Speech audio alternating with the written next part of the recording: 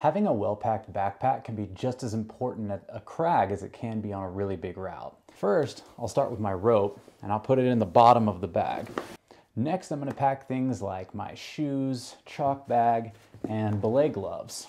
Now I'm gonna start really shoving in all of the air pockets around the backpack when I get to things like my protection rack, quick draws, maybe some cams or something, some slings, my belay devices, carabiners.